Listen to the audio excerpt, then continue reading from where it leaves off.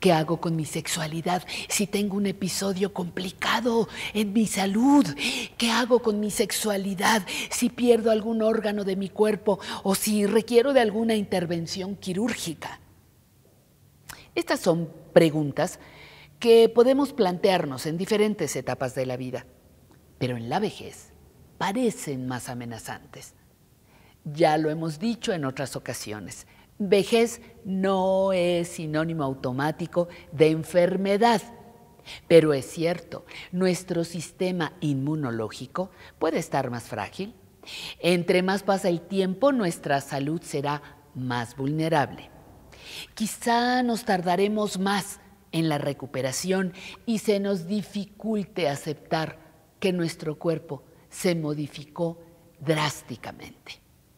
Para algunas personas la vida sexual en la vejez no existe, la cancelan, pero otras continúan. Pero cuando aparece la pérdida de alguna parte, llegan a modificar la manera en que perciben su cuerpo y por lo tanto su sexualidad. Algunas mujeres llegan a pensar que ya no lo son y muchos hombres se miran con su virilidad disminuida. Lo que hoy les quiero compartir es que la sexualidad puede ser un gran apoyo para la recuperación. En alguna ocasión, una mujer que enfrentaba un cáncer que la llevó a perder sus dos mamas me dijo, yo aguanté la quimioterapia y las pérdidas de mi cuerpo gracias a que mi esposo nunca dejó de acariciarme, de tocarme.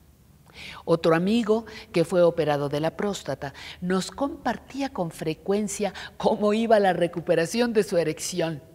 Nadie le preguntaba, pero yo creo que su ansiedad se traducía en irnos contando. Y el día que volvió a lograrla, nos dijo, mi esposa nunca dejó de invitarme a estar con ella.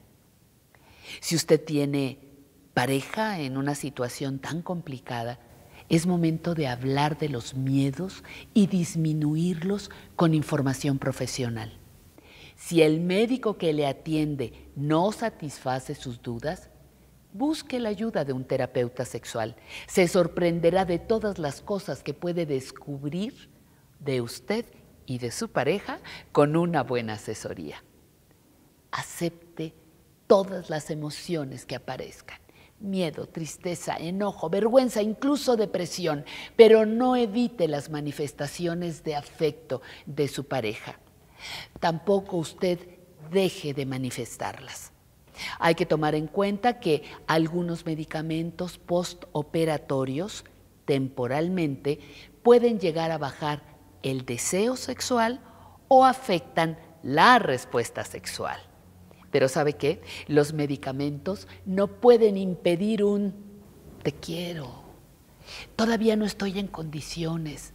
Dame un poquito de más tiempo. Dicho de manera más directa, la sexualidad en todas sus manifestaciones puede ser una gran acompañante durante los procesos antes y después de intervenciones quirúrgicas. Pero hay que hablarlo en voz alta, compartirlo y estar dispuestos, dispuestas a mirar y sentir nuestro cuerpo a través de nuevas experiencias. Ya lo sabe porque fue uno de nuestros primeros videos en esta serie de vejez creativa. La vida sexual en muchas personas continúa y para ellas el coito deja de ser la estrella de la película.